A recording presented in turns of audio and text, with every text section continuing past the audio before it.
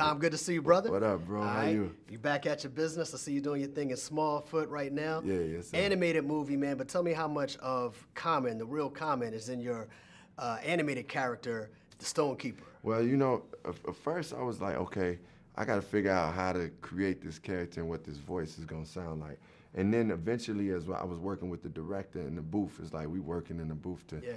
A lot of it came out like that. I, I could have that my voice and my sound, but then I had to bring a little bit something different because the character is really big and he he wears these like stones on his body. Right. Um, and two, he's he has like he has this thing where he's like a high priest, a leader, but he also is a politician. Right. And that that ain't my thing. So I kind of had to find that Inspiration. yeah, that inspiration, which I which I love, and you know, as an actor, and even doing it as a voice actor, you, I love finding characters and doing things that's not just me. Right. You know, yeah. The movie's based on uh, a world of Bigfoots Yeah, yeah. that are looking for evidence of a human that they refer to as a Smallfoot, right? Smallfoot, yeah. So it's an animated world, obviously. But I wanted to ask you, do you believe that there's a world out there beyond what we see on this earth?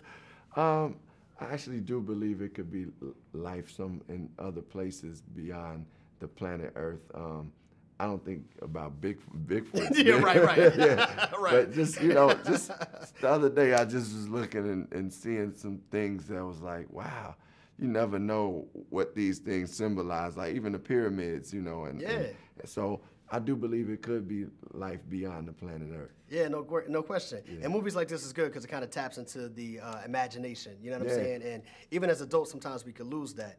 But tell us why, like young kids and adults should come out to check out a movie like Smallfoot. Well, you know, first it's like for me is is a, a story that's animated. It's a children's story, but it has those lessons of life that we needed no matter what age you are. Because this movie is like the whole thing is like don't just accept what the system is talking about. Don't just accept what like politics or the or the government says or you know the society is telling you to be because Right.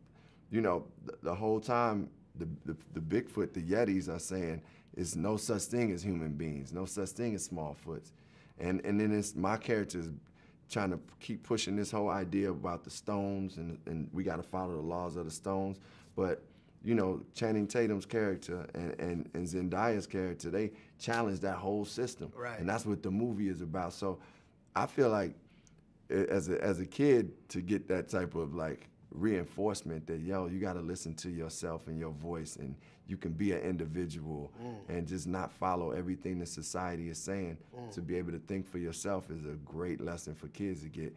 But i, I need to be reminded of that sometimes you know what i mean? Like, Sometimes we lose our innocence and we forget, you know, we do have an inner drive. yeah and, it, and it's fun. It's, a, it's about fun at the end of the day No question. All right, so you mentioned Zendaya. You mentioned that the movie is about kind of pushing back against the system a little bit. Yeah. You also had LeBron James in the movie. Yes, sir. You're in the movie. All of you guys kind of represent, you know, pushing forward and representing for black people in Yeah. general. You know, any, any good conversations happen on the set Uh, about where we are as a people in this world right now? Well, you know, actually, to me and LeBron, like when we were doing this this photo shoot, um, LeBron was like, "Look, man," I said, "Man, I'm so happy and proud of you," and he was like, "Man, we are going forward, man, and that's this is what we supposed to do. Yeah. Like this is what."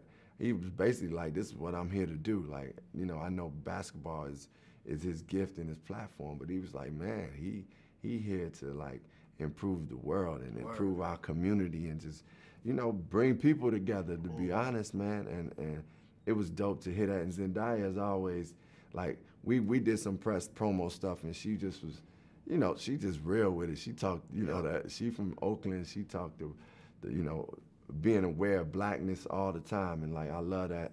And I feel like we should be able to that just because we embrace who we are as people of color as black people doesn't mean we knock other nationalities. We show love for them too, but we gotta love our communities and uplift them too. So I love the Zendaya.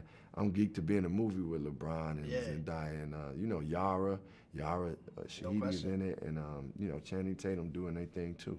Appreciate what all of y'all doing. You're still putting on for the city of Chicago. Yes, sir. Smallfoot in theaters. People need to go check it out, man. Appreciate your Yes, time. sir. Good looking, Kyle. My man. Uh, Yes, sir. yeah.